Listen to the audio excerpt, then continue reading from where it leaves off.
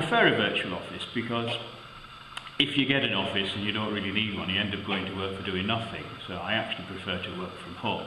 I can fit my hours, I do quite long hours really, but I can do it to my convenience at home. If I had an office office, you get an expense that you don't really need. Uh, you've got to come every day or you've got to staff it every day. It really isn't convenient for the kind of business that I run.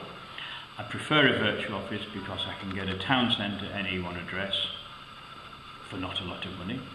I can get the meeting facilities town centre NE1 address for not a lot of money. It's convenient. Everybody, I actually work throughout the country, but I prefer Newcastle and an NE1 address because at the end of the day, everybody knows Newcastle. If I'm talking to somebody in Birmingham, or I'm talking to somebody in Manchester, or I'm talking to somebody in Leeds, everybody knows Newcastle. So it's a great place to have an office or an office address. It's very convenient, people are nice, very personable, you don't feel like you're a number in Clavering House. You, you ring up, they know who you are, uh, they've always got a smile on their face, and if you've got people